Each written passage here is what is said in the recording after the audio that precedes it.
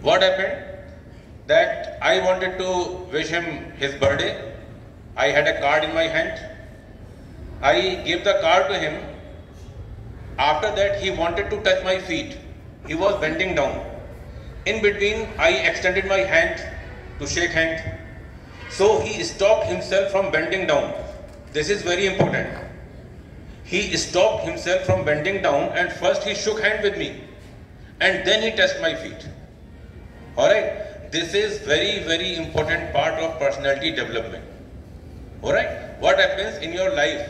There may be some moments like this that when your senior in your workplace, your boss, he may extend his hand for wishing you, for greeting you, and you thinking that oh he is my senior, I have to respect him. You may say no sir, no, you are my boss. But it is an insult to the boss.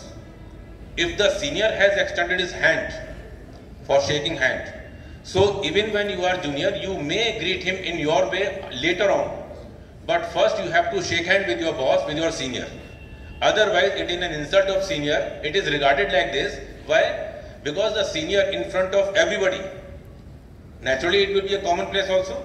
It may be some party place also. In front of everybody, your senior has extended his hand and you are touching down to touch his feet. So what will he do with his hand? He will remain feeling embarrassed.